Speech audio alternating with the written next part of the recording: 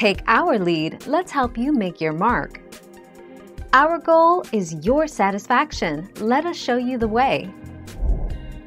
Bloodhound. Clifford's character was created when a Harper and Row editor advised Bridwell to write a story to go along with one of his pictures.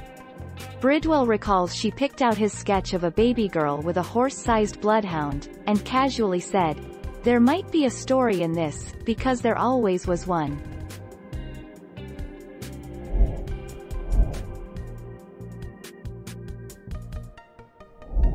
Make your mark, take our lead. Bridwell originally planned to name a big red dog, Tiny. But Norma said that this name sounded stupid for a giant-sized dog, instead suggesting, Clifford, after her imaginary friend from her childhood.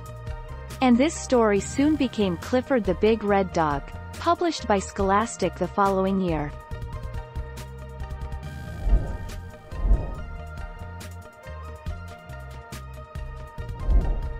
Take our lead. There's a firm chance that, like myself, you grew up watching the animated Clifford the Big Red Dog series that aired on PBS during the early 2000s. On that show, and the more recent reboot, Clifford did talk, albeit to his fellow dogs.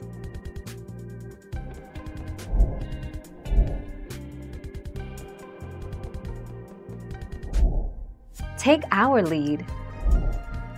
In summary, Clifford is a bloodhound with a surprisingly fun and inspiring story behind his creation. Although, many people might claim otherwise the original inspiration for Clifford was a large bloodhound that he painted next to a child. Thank you for watching. Please subscribe and hit the bell notification.